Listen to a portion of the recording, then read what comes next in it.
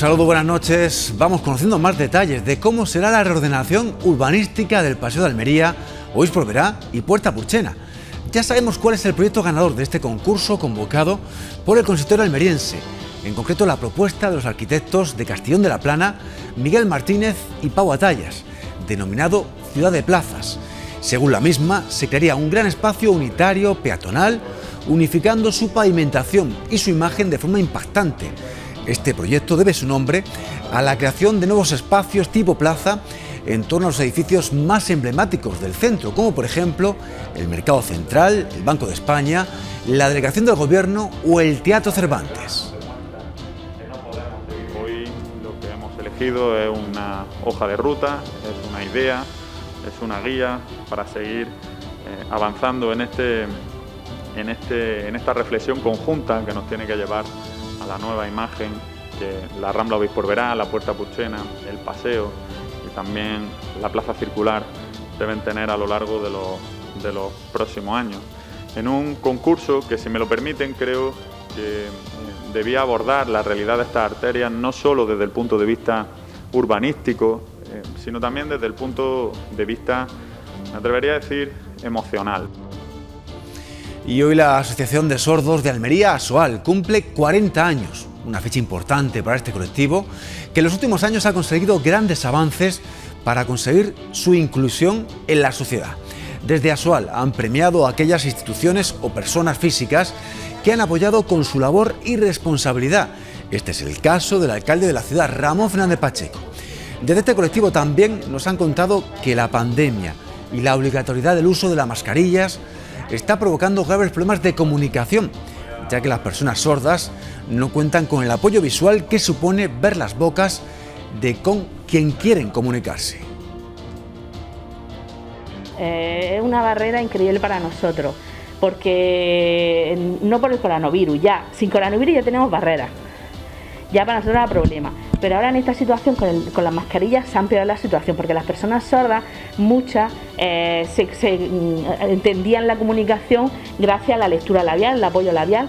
Cuando la otra persona oyente eh, tiene mascarilla, pues no le pueden leer los labios.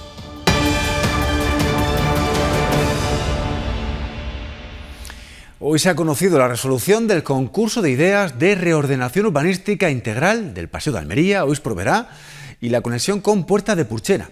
El proyecto ganador ha sido Ciudad de Plazas, de los arquitectos Manuel Martínez Castillejo y Pau Batalla Soriano. Diez han sido las propuestas que se han presentado a este concurso de ideas, todas ellas originales, diferentes y creativas. De estas se han seleccionado tres y la ganadora ha sido la denominada Ciudad de Plazas, que ha recibido el primer premio valorado en 7.000 euros. Los arquitectos han sido Manuel Martínez Castillejo y Pau Batalla Soriano, ambos de Castellón de la Plana. Hoy lo que hemos elegido es una hoja de ruta, es una idea, es una guía para seguir eh, avanzando en, este, en, este, en esta reflexión conjunta que nos tiene que llevar a la nueva imagen que la Rambla Obispo la Puerta Puchena, el Paseo y también la Plaza Circular deben tener a lo largo de los, de los próximos años. Desde el ayuntamiento aseguran que a partir de este proyecto se trabajará para crear uno final. En él se modificará lo que sea necesario, se reflexionará y escucharán a todos los almerienses de cara a hacer una apuesta integradora que recoja todas las necesidades e inquietudes del corazón de la ciudad. Digo siempre que tengo oportunidad que determinados debates ciudadanos se sosieguen y se relajen en la medida que sea posible para que los análisis sean lo más profesionales eh, de lo que seamos capaces. Al final siempre la reflexión técnica bien asesorada es la mejor cuando hablamos de proyectos de esta envergadura. El alcalde ha invitado a la población almeriense a sumarse a un proyecto que hace ciudad y que debe recoger lo mejor de nuestras tradiciones, pero mirando siempre hacia el futuro que queremos. Y ya podemos mostrarles las primeras imágenes de este proyecto ganador de reordenación del Paseo, Verá y Puerta de Purchena. Tres arterias principales que pasarían a ser peatonales y como pueden ver en las imágenes, se mantendrían los ficus existentes y otros tipos de árboles en la zona del paseo, también Puerta de Purchena y Obispo Verá, salvo en las zonas donde se crearían espacios tipo plazas en torno a edificios emblemáticos, como por ejemplo el Mercado Central, la Delegación del Gobierno o el Banco de España. Existiría un carril para bicicletas o patinetes y el peatón se convertiría en el gran protagonista en estas céntricas calles. El alcalde de la ciudad asegura que este proyecto ha de remodelar el corazón de la ciudad, que aún sigue teniendo la misma estructura que tenía en época de nuestros mayores. Hoy en día la estructura urbanística que tiene el Paseo de Almería, con algunos matices, es prácticamente igual a la que vivieron nuestros abuelos y nuestros padres. Pero yo creo que todos coincidimos en que la realidad nos demuestra que no podemos seguir viviendo como lo hicieron nuestros abuelos y nuestros padres. Tenemos que cambiar, tenemos que ser valientes, tenemos que aspirar a lo mejor, aunque ello no nos debe llevar a una precipitación o a un impulso eh, que se concrete en errores, sino todo lo contrario, a una reflexión, a escuchar mucho, a hablar mucho. El arquitecto del ayuntamiento, Miguel Centella, ha explicado que los proyectos presentados no cumplían con todos los requisitos de las bases, pero que por ello ahora estas iniciativas se van a moldear para tener una visión mucho más completa. Después de un amplio debate, se llegó a la conclusión de que ninguna resolvía completamente las indicaciones reflejadas en las bases del concurso.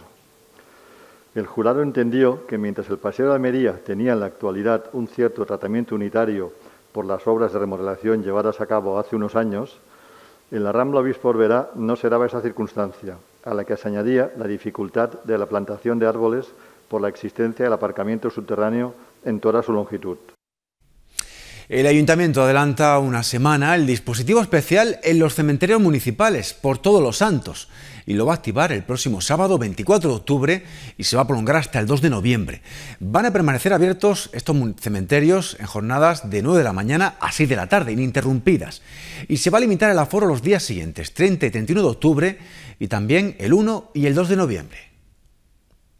El Ayuntamiento de Almería va a limitar el aforo de los cementerios de la capital el 30 de octubre y el 2 de noviembre, con motivo de la festividad de Todos los Santos, si bien ha adelantado su dispositivo especial al próximo sábado 24 de octubre, para la realización de visitas, ya sea de forma individual o en grupos de máximo cuatro personas, según la recomendación efectuada ante el contexto marcado por el COVID-19. Hemos pensado que sería acertado adelantar este dispositivo al día 24 de octubre. Por lo tanto, el dispositivo se activará el día 24 de octubre hasta el 2 de noviembre. Los camposantos municipales estarán abiertos ininterrumpidamente desde las 9 de la mañana a las 6 de la tarde, desde el sábado 24 de octubre al lunes 2 de noviembre, toda vez que los cementerios de los barrios periféricos abrirán también el lunes 26, a pesar de que habitualmente están cerrados. El ayuntamiento desaconseja que las personas vulnerables o de riesgo acudan entre los días 30 de octubre y 2 de noviembre. Hay un dispositivo, un operativo especial para los días 30-31 de octubre y 1 y 2 de noviembre. La principal, eh, la principal novedad con respecto a otros años de este dispositivo especial de estos cuatro días es el control de aforo que se llevará en el acceso de los camposantos. Mm, aparte, por supuesto, el control de movilidad, de seguridad, pero es el control de aforo que se, va, que se va a llevar a cabo. En cada cementerio habrá vigilantes de seguridad para controlar el aforo y los accesos, ya que no podrá haber más de 2.500 personas al mismo tiempo en el cementerio de San José y Santa Adela.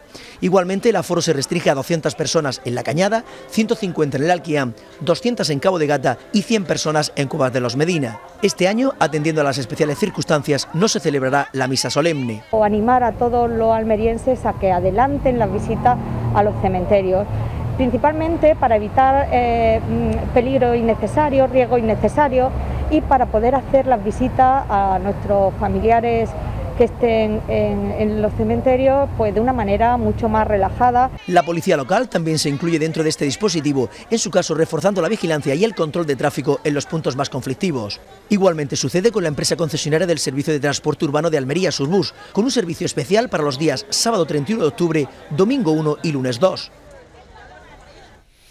ASOAL, la Asociación de Personas Sordas de Almería, cumple 40 años, un colectivo que ha luchado mucho por conseguir su inclusión social y que ahora se enfrenta a una nueva barrera, las mascarillas. Insisten en la importancia del apoyo labial para comunicarse con el resto de personas.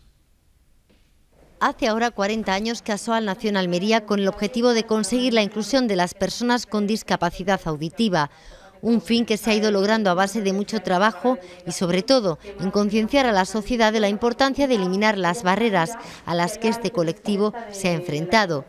Sin embargo, como a muchos otros, la pandemia sanitaria les ha perjudicado, sobre todo ahora, con el uso obligatorio de las mascarillas, que se han convertido en todo un obstáculo de comunicación entre las personas sordas y el resto de la sociedad. Eh, es una barrera increíble para nosotros porque no por el coronavirus, ya, sin coronavirus ya tenemos barreras, ya para nosotros era problema, pero ahora en esta situación con, las mascarillas se ha empeorado la situación, porque las personas sordas, muchas, eh, se, mm, entendían la comunicación gracias a la lectura labial, el apoyo labial, cuando la otra persona oyente eh, tiene mascarilla, pues no le pueden leer los labios, entonces eh, desde el gobierno, ¿vale? Eh, es verdad que se está teniendo muchísimo, por ejemplo, en los hospitales, muchísimas barreras en, la zona de los hospitales eh, porque ahí sí es verdad que no te entienden y son cosas graves. En los colegios también no se le está dando por, parte del gobierno una respuesta a esa necesidad, a esa barrera de comunicación. Eh, de vocabulario, mucho, ya digo, no es que mm, las personas solo nos comuniquemos con la lectura labial, pero sí es un apoyo labial. Entonces, pues te pierdes palabras, te pierdes sentidos, te pierdes de comunicación y entonces eh, es verdad que nos niegan la homologación a esas mascarillas eh, transparentes y no se pueden utilizar en, en, centros de salud, en centros educativos. Con motivo de este aniversario, Asoal ha querido reconocer el trabajo que el alcalde de la ciudad ha hecho en los últimos años para contribuir a la integración de este colectivo en todos los ámbitos de la sociedad almeriense. Ayudan a muchísimas personas que tienen dificultades auditivas en nuestra ciudad, en nuestra provincia. Lo vienen haciendo desde hace 40 años y ese trabajo por parte de las administraciones públicas creo que no puede ser más que reconocido, aplaudido eh, y reforzado en la medida de nuestras posibilidades. Y decía que era un día muy especial también a nivel personal porque además me llevo la sorpresa de que me dan el, me han concedido este, este premio, esta eh, premio SOAL 2020 en el 40 aniversario de la asociación. Ellos dicen que por, por, bueno, por mi labor como alcalde es un premio que recojo con muchísima ilusión, que, le agradezco una barbaridad y que, y que por supuesto es un premio no a Ramón Fernández Pacheco, sino al, entiendo que al Ayuntamiento de Almería. Un aniversario emotivo para recordar que aún queda mucho trabajo por hacer en aras a conseguir que sean muchos los ciudadanos que al menos se interesen por aprender el lenguaje de signos, así como una mayor presencia de los intérpretes.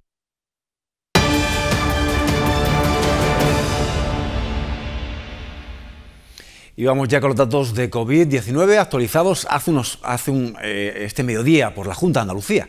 En la región se han detectado 3.442 positivos. Destaca Sevilla con 1.089, Granada con 847 y Córdoba con 409. En 24 horas han producido 195 nuevas hospitalizaciones, 9 de ellas en UCI. Y ojo al dato, 31 fallecimientos en la región. La buena noticia es que 946 personas más superan la enfermedad en Andalucía. En lo que se refiere a la provincia, como ven, otro día más que superamos la centena de casos, 114 nuevos positivos, 3 nuevas hospitalizaciones y 2 nuevos fallecimientos. 144 personas más superan en la provincia de Almería la enfermedad. Dejamos el COVID-19, la Diputación Provincial y la Universidad de Almería han firmado un convenio de colaboración para desarrollar cinco grandes proyectos que buscan favorecer que el talento almeriense se pueda quedar en la provincia. Un acuerdo que renueva la complicidad de estas instituciones. Diputación y Universidad de Almería siguen trabajando para intentar fijar el talento almeriense en la provincia Ambas instituciones han firmado un convenio de colaboración para el desarrollo de proyectos en materia de formación, investigación o de carácter cultural, todos ellos promovidos por la UAL y que podrían beneficiar a más de mil almerienses. Esto tiene que ser habitual y tiene que estar siendo habitual permanentemente, no solamente en los cinco grandes bloques o grandes proyectos que vamos a colaborar este año, eh, es verdad que con motivo de la pandemia pues se, han ajustado precisamente para intentar ser mucho más eh, eficaces en, estos proyectos, pero incluso se ha cambiado el formato a la hora de colaboración, pero necesitamos recuperar eh, ese día a día con la propia Universidad de Almería, porque después de, lo que estamos viviendo, del confinamiento, del estado de alarma, etcétera, ¿no? hemos perdido contacto con ellos, por eso es motivo de, este, de esta firma del convenio y eh, lo que nosotros esperamos es que el año que viene, y es nuestra intención, tener una mayor colaboración con la propia Universidad de Almería. Dos que son un clásico, que es la colaboración en los cursos de, verano de la Universidad de Almería con nuestra Universidad de, Mayores algún proyecto puntual ya preestablecido de investigación, como, como es el estudio de investigación desarrollado con el IGRAL, y después pues convocatoria a proyectos que se presten a ser susceptibles, buenos para la provincia, que se hacen por convocatoria competitiva y que en su momento evalúa la comisión correspondiente. Este convenio para este año 2020 contempla cinco grandes proyectos, entre ellos el denominado de economía sostenible, que aborda la viabilidad del cultivo de higueras en el interior de la provincia para luchar contra la despoblación. El viernes 23 de octubre, a partir de las 7 y media de la tarde, se va a retransmitir vía streaming la octava edición de Micropasarela, el desfile de moda infantil organizado por Navarro Pasarela, en colaboración con el Ayuntamiento de Almería, la Diputación Provincial, Asalsido y la ONCE. Una cita ya tradicional en la que 40 niños y niñas con diferentes capacidades demostrarán su talento sobre la pasarela mostrando firmas de muchos de los comercios de la capital. De esta forma y a pesar de que esta edición no se celebra en plena calle y con público, se pretende poner de moda la integración. De, disfrutar en nuestras casas del ejemplo que nos dan todos los días estos niños y estas niñas que desfilan del ejemplo de superación y de cómo nos trasladan que las dificultades que se nos presentan en el día a día están solamente en nuestra cabeza. Ellos son claramente un ejemplo. Eh, estamos trabajando en hacer una ciudad cada vez más inclusiva y sin lugar a dudas la actividad que se está aquí anunciando es un acto más de que Almería sea eso, una ciudad inclusiva, donde además participan dos organizaciones muy importantes como, es la ONCE y como es Asalsido, y los niños que son los que llenan de alegría y de ilusión y de alma nuestra ciudad y nuestras vidas. Porque pone de moda a la discapacidad, a la inclusión, a la integración. Y vamos a tener la posibilidad de verlo este viernes donde nuestros niños y niñas con y sin discapacidad van a desfilar en igualdad de condiciones. Cómo se van integrando poco a poco, cómo desde las instituciones eh, se va apostando por ellos y, bueno, pues, pues esto ya se ha establecido de tal manera que la pasarela, la micropasarela Navarro, pues ya no, no necesita que lleve la tilde de inclusiva, sino que se sabe que ya apuesta por todas las capacidades.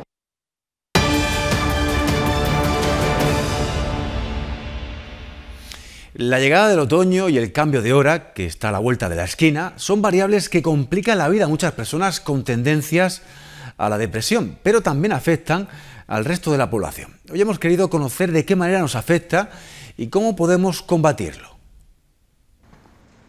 La melancolía que nos da la llegada del otoño, las pocas ganas de realizar actividades o esa sensación extraña en el estómago no son producto de la casualidad, sino de una estación que llega cargada de cambios y con menos horas de luz, algo que trastoca nuestros sentidos y nuestra manera de afrontar el día a día.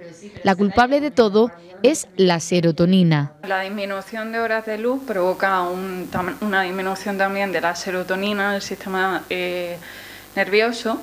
Entonces ello hace que, bueno, esta hormona es la famosa hormona de la felicidad, que haya una alteración en el sueño, en el estado de ánimo, en el estrés, incluso a veces en el apetito. Eh, personas que tengan ya de por sí un cuadro depresivo, en esta época se le intensifica mucho más. Estas sensaciones pueden gestionarse y combatirse con una serie de recomendaciones que nos detallan los expertos en psicología pues tener una rutina en el descanso, es decir, ahora intentar no dormir horas en exceso, pero tampoco tener un déficit de sueño. Entonces, ponerse una rutina de horarios y demás, hacer ejercicio físico, eso es importantísimo por el tema de las endorfinas, y además eh, llevar una dieta, intentar pues menos carbohidratos y eh, bueno, alimentos ricos en vitamina B, eh, frutas, verduras, incluso con aporte proteico. Bueno, también actividades de ocio, bueno, ahora con la disminución de horas de luz, el frío, pues las tenemos que adaptar. Entonces quizás no tanto al aire libre, más en casa, pero bueno, que también las hay. Si a esta sensación de ansiedad se le suma el confinamiento que hemos vivido en los últimos meses y el miedo porque pueda llegar uno futuro, lo mejor es acudir a un especialista que nos ayude a canalizar nuestras emociones de la mejor forma posible.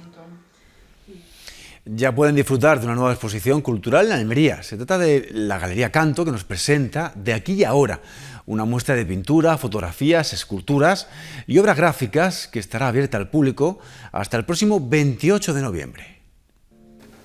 La Galería Acanto ofrece de aquí y ahora una nueva exposición colectiva de arte contemporáneo a mano de artistas almerienses, con una gran variedad de técnicas, lenguajes y estilos, combinando pintura, obra gráfica, fotografía y escultura.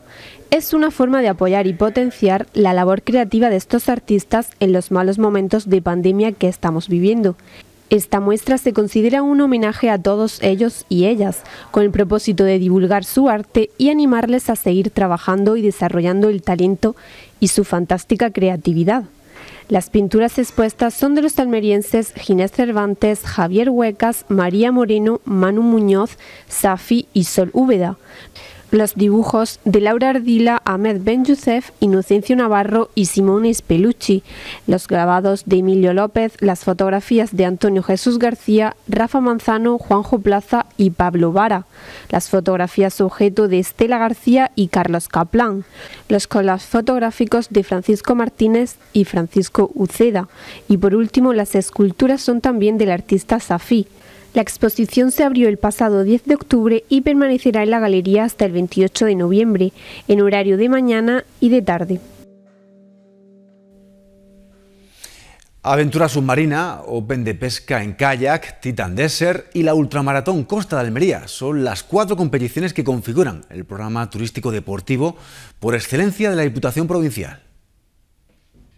Almería Activa dobla su presupuesto para fortalecer la apuesta de la institución provincial por el deporte y los eventos que difunden las excelencias de Costa de Almería. Cuatro pruebas componen el calendario de la nueva edición de este evento. Aventura submarina, Open de pesca en kayak, Titan Desert y la Ultramaratón. Hemos conseguido traer la eh, prueba, el evento de bici de montaña más relevante, más importante del mundo. Eso significa poner en el mapa eh, por supuesto, a la provincia de Almería. Eso significa que personas de prácticamente todos los países del mundo van a poder señalar eh, la provincia de Almería como un lugar destacado donde practicar deporte. Este programa se ha visto modificado por la pandemia, pero respeta su esencia al ofrecer alternativas deportivas en entornos naturales, como lo son el submarinismo, la pesca en kayak, bici de montaña o la ultramaratón. Hemos decidido retrasarlo en el calendario, pero mantener los eventos que nos caracterizan a, la, provincia de Almería, sobre todo al área de deporte, al área de turismo, para poner en valor esas actividades turísticos deportivas en el que el mejor escenario es nuestra provincia de Almería. La primera prueba aventura submarina será del 23 al 25 de octubre, Open de pesca en kayak el 31 de octubre, Titan Desert del 2 al 6 de noviembre y por último la ultramaratón Costa de Almería que será el 6 de diciembre. Pues hasta aquí las noticias para todos aquellos que nos siguen a través de la página web www.entrealmeriatv.com. Los que lo hacen a través de la TDT se quedan con el deporte.